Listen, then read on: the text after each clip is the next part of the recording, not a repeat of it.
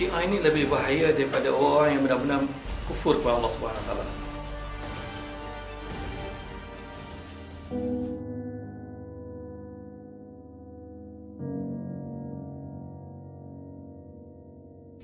Hah? Syiah Sunni bergaduh? Aduh. Tak ada isu lain ke ha? Syiah Sunni bergaduh pasal mazhab je pun nak bergaduh. Apa ke benda lah rakyat Malaysia ni? Tak habis-habis nak gaduh-gaduh. Ha? Syiah Sunni bergaduh? Ha, Israel yang tepuk tangan. Apa bengarut? Better aku lain cerita. Betul ke Syiah Sunni bergaduh sebab perbezaan mazhab? Ataupun ianya memang bergaduh disebabkan benda yang usul, benda yang akidah?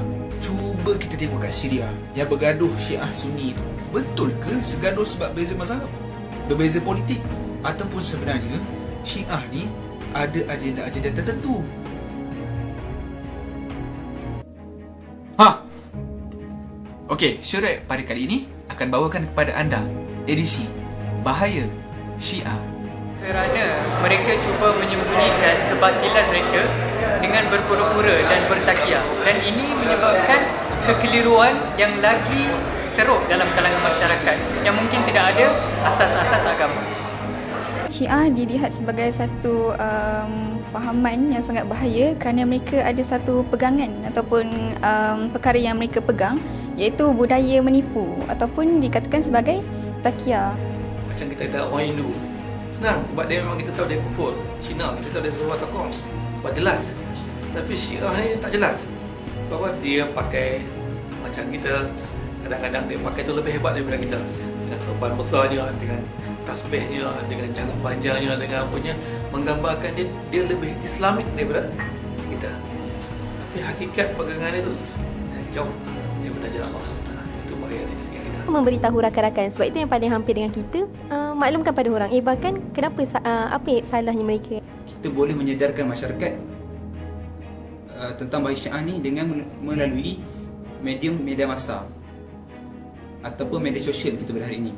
Contohnya kita boleh uh, menyedarkan masyarakat dengan menggunakan medium Facebook, Twitter dan YouTube.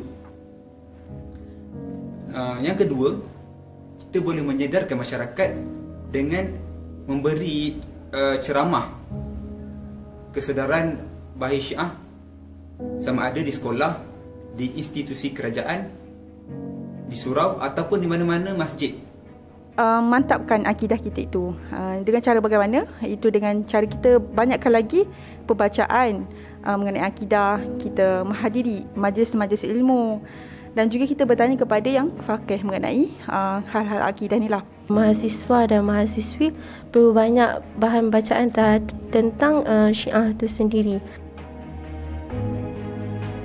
Pada pendapat saya Syiah ni bukan mazhab. Syiah ni adalah agama lain dan telah sesat. Dan sesat-sesatnya. Dan mereka ni adalah golongan yang sesat dan menyesatkan. Uh, pada awalnya Syiah ni dia merupakan satu mazhab lah kan Yang mana kalau kita boleh tengok orang-orang Syiah ni dia memang cintakan keluarga Nabi kan Tapi um, satu mazhab ni dia akhirnya bertukar kepada satu ketaksuban lah.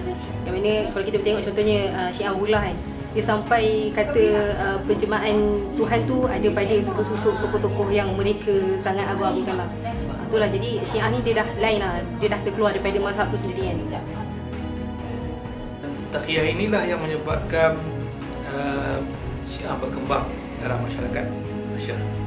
Sebab mereka menyembunyikan hakikat mereka yang sebenar. Contoh seperti yang berlaku dengan seorang cikgu di Perlis, ada cikgu, dia berkahwin selama 13 tahun, dia tak tahu isteri dia tu Syiah sebab dia bertaqiyah. Tapi akhirnya terdedah juga.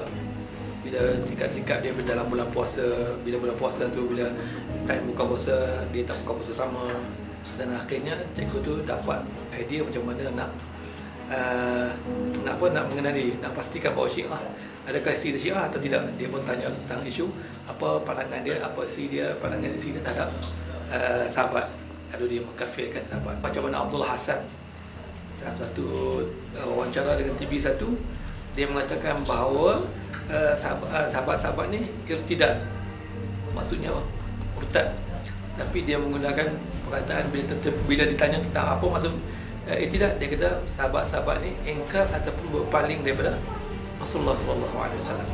Itu contoh-contohan dan banyak lagi contoh-contoh mereka yang menyeleweng lah.